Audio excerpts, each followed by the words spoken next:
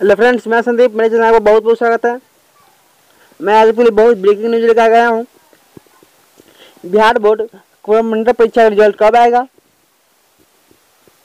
और आप साथ ही साथ बता दूँ कि और बिहार बोर्ड कमेंटर परीक्षा में ऑब्जेक्टिव आंसर की जारी कर दिया है। उसका मैं वीडियो अपलोड कर दिया हूँ और उसका मैं लिंक डिस्क्रिप्शन में डिस्क्रिप्शन दे दूँगा। आप वहाँ चेक कर लीजिएगा। क्या ऑब्जेक्टिव कितना सही है? और साथ ही साथ आपको मैं इंटर इंटर और मैट्रिक का भी, भी क्वेश्चन प्रोवाइड कराने वाला हूँ। चलिए आप चलते हैं वीडियो तरफ़ कवर्मेंटल परीक्षा रिज़ल्ट कब आएगा? फ्रेंड्स कवर्मेंटल परीक्षा रिज़ल्ट तीस मई से लेकर दो जून के बीच में आएगा फ्रेंड्स कवर्मेंटल परीक्षा इंटर की रिज़ल्ट तीस मई से लेकर दो जून के बीच में आएगा फ्रेंड्स साथ ही साथ बता दें आपको मैट्रिक का कवर्मेंटल परीक्षा रिज़ल्ट